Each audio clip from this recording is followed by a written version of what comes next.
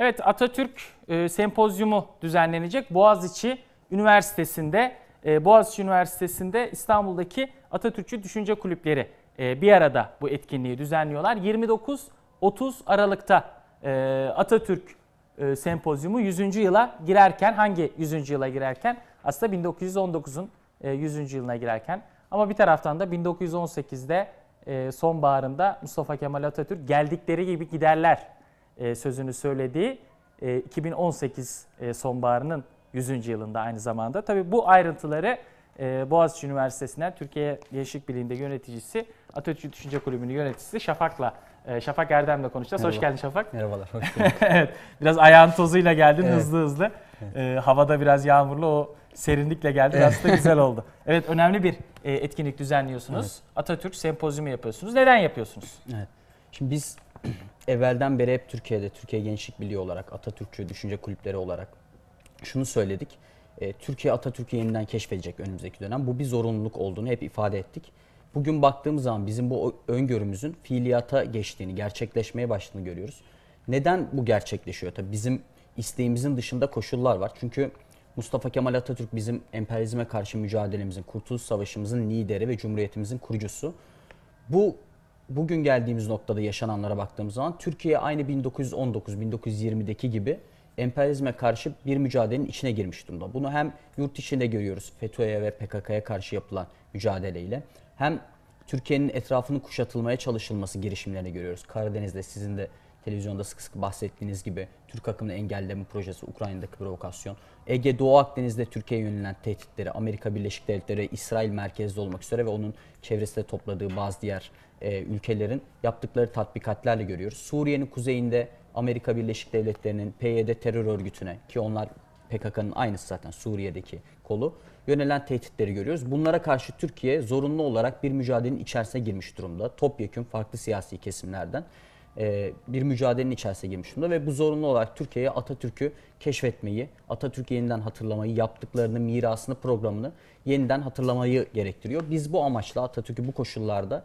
en doğru biçimde anlamak için bu sempozyumu düzenliyoruz. Yani 100 yıl sonra yeniden geldikleri gibi giderler demek Evet. durumunda bırakılıyor Türkiye. Bu Evet. koşullarda da e, Atatürk gibi 100 yıl önce o başladığı e, 1918 itibariyle e, süreci herhalde konuşacaksınız. Evet, Ve evet. sonrası da yaptıkları. Aslında öncesinde yaptıklarını da konuşacaksınız Evet. diye tahmin ediyorum. Çünkü e, katılımcılara, konuşmacılara baktığımızda Türkiye'nin çok değerli e, aydınları Doktor Doğu Perinçek, Profesör Doktor İlber Ortaylı, e, Şevket Pamuk, Kemal Üçüncü, Sevtap Demirci, Atakan Atipoğlu, Yıldırım Koç, Cem Gürdeniz, Yıldırım Gencer çok değerli Evet. e, isimler ve gerçekten de e, Atatürk'ü e, en iyi anlatacak isimler öyle Evet. ifade edebiliriz. E, şunu soracağım 29-30 Aralık'ta 29-30 Aralık'ta evet. e, Boğaziçi, Boğaziçi Üniversitesi'nde Üniversitesi'nde e, gerçekleşecek. peki sadece öğrenciler Boğaziçi Üniversitesi e, öğrencilerine mi olacak yoksa e, diğer Şöyle- üniversitelerden de öğrenciler olacak mı? Zaten bu etkinliği düzenleyen kurumlar yani Kırmızı Beyaz Dergisi, Bilim Ütopya Dergisi e, tüm Türkiye'deki üniversitelerde öğrencilere hitap eden dergiler.